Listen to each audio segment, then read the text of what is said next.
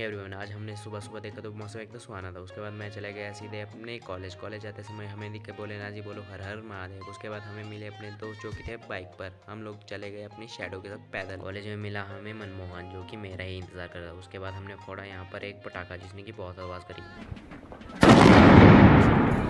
डर कर इधर उधर भागे हम लोग आ गए अपने एक सीक्रेट कैंटीन में, जो कि अपने कॉलेज के ठीक पीछे ही है। पीछे में हमने अपने आप को निहारा एंड देन हम लोग चले गए कॉलेज कॉलेज आते समय हमें इस रास्ते का सामना करना पड़ा, जो कि बहुत ही खतरनाक है। इस रास्ते के ठीक सामने ही अपना प्ले उसके बाद हम लोग यहाँ पर थोड़ा सा बैठे और हमने देखी गाड़ी, जो कि गेट से ठुकने ही वाली थी। उसके बाद हम लोग गए अपनी पीसफुल जगह पर। यहाँ पर देखे हमने बंदर, जो कि ब्रोकली चुरा रहे थे। हम लोग घर जा ही रहे थे और मनमोहन खुशी से नाचने लगा। उसके बाद हमने बोला हर हर महादेव पहुँच गए अपने रूम में। ये था हमारा आज का दिन। Bye bye